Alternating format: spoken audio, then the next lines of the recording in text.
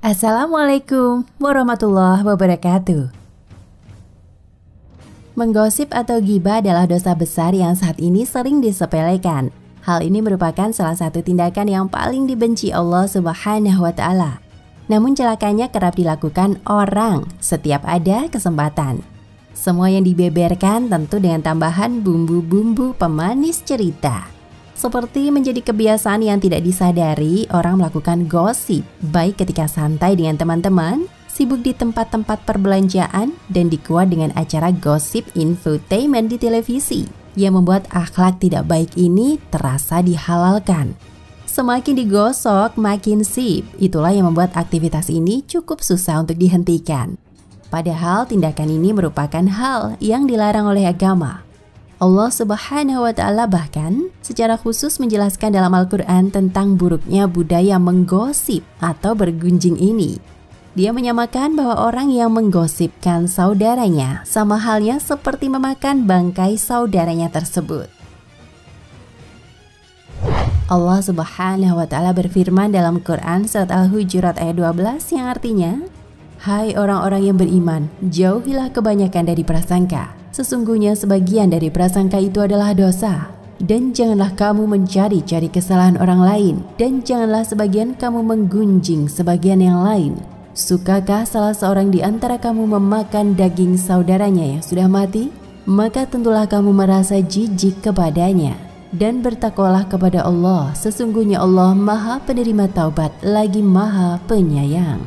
Quran Surat Al-Hujurat ayat 12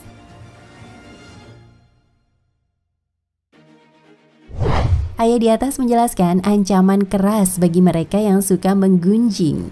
Tindakan ini merupakan salah satu dosa besar karena Allah menyamakannya dengan memakan daging mayat.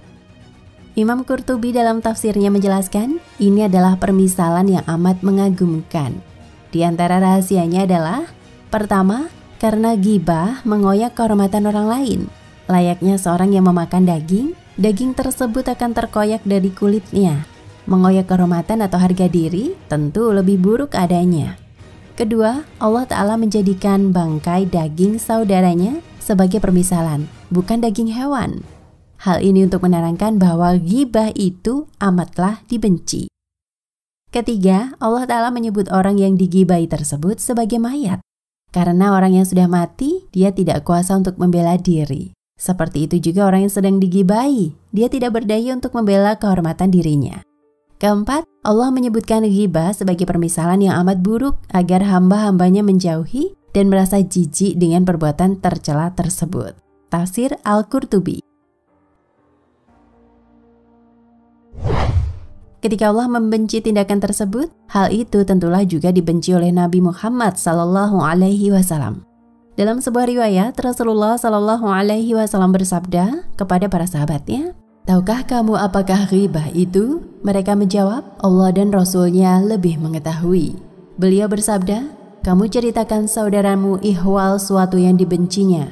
Beliau bertanya, bagaimana jika apa yang diceritakan itu terdapat dalam dirinya? Beliau bersabda, jika apa yang kamu ceritakan itu terdapat pada dirinya, berarti engkau mengribahnya. Dan jika yang kamu ceritakan itu tidak terdapat pada dirinya, berarti kamu mengadakan kebohongan tentang dia. Hadis riwayat Muslim.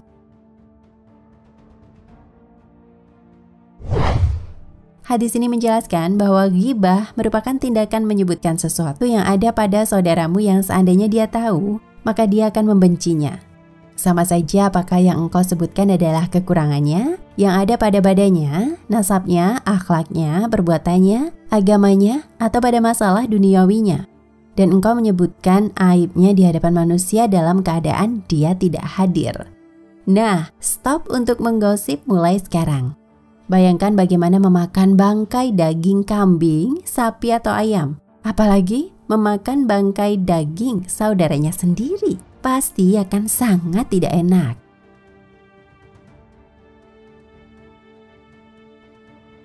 Nah, pemirsa ensiklopedia Al-Fatih, sampai di sini perjumpaan kita kali ini. Semoga menginspirasi.